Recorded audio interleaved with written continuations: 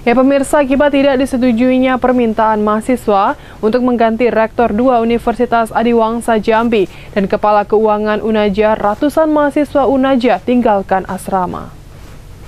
Ratusan mahasiswa Universitas Adiwangsa Jambi kembali menggelar aksi unjuk rasa di halaman Universitas Adiwangsa Jambi pada Kamis pagi. Aksi lanjutan tersebut dikarenakan adanya dugaan intimidasi dari pihak kampus terhadap orang tua mahasiswa. Pihak kampus dituding mengancam akan mengeluarkan mahasiswa yang melakukan aksi demo beberapa hari yang lalu. Mahasiswa pun kembali menggelar aksi unjuk rasa dengan masa yang lebih besar. Akibat tidak adanya titik terang dari hasil tuntutan mahasiswa, ratusan mahasiswa langsung melakukan aksi lanjutan dengan meninggalkan pekarangan kampus.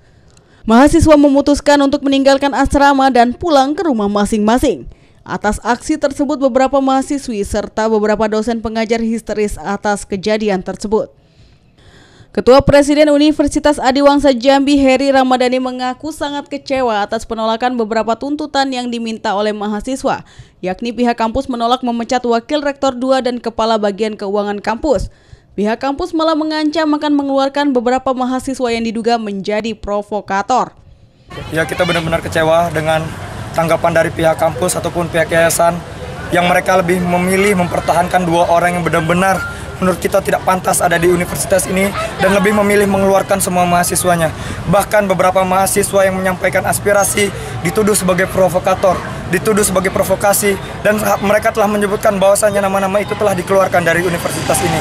Kita tidak akan takut, kita angkat akan angkat masalah ini ke skala nasional. Kita akan laporkan ini kepada Kopertis, kita akan laporkan masalah ini kepada Ristek Dikti dan kita akan laporkan masalah ini ke Ombudsman Pusat RI dan kita juga akan mengadukan permasalahan ini kepada DPRD provinsi. Sementara itu BPH Yayasan Unaja Eko mengatakan tuntutan mahasiswa yang ingin mencopot wakil rektor 2 dan kepala keuangan Unaja tidak memiliki dasar yang jelas sehingga tidak dapat dipenuhi. Pihak kampus akan memberi sanksi skorsing bagi mahasiswa yang terbukti menjadi provokator dalam aksi ini ya silakan aja. Kalau mau pulang oh itu hak mereka.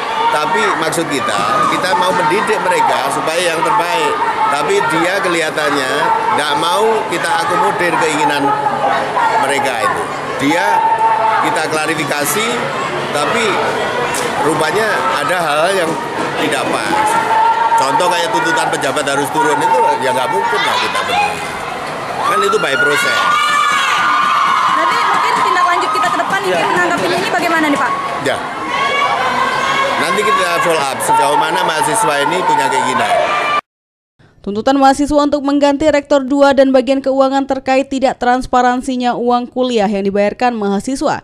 Bahkan fasilitas yang diterima mahasiswa tidak sesuai. Mahasiswa juga melapor kerap mendapatkan tindakan intimidasi dari pihak kampus. Asal Patahangi Jack TV melaporkan.